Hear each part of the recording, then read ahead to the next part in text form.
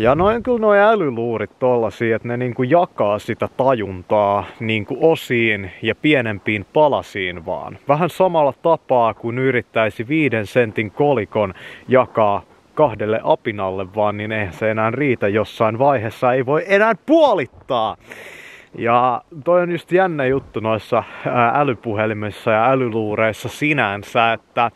totuusetsivän niin näkökulmasta, kun mä en itse käytä älyluuria ja mä kirjoitan mustekynällä kaikki päivät ja mulla on taskukello ja Fedora ja,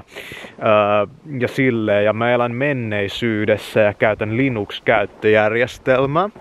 niin älyluurit on mulle semmosia juttuja, joita mä niinku yritän enemmän niinku vaan kaapata niinku tavallaan omaan käyttöön. Niin, että mä huomaan, että hei tuolla on älyluuri, mitä jos mentäs vietäs, vietäs ja mentäs käytännössä tota, tuomaan totuusetsivän sisältö siellä, niin sieltä niinku älyluurin sieltä prosessoreista ja sieltä sieltä tuota, tuosta kaikista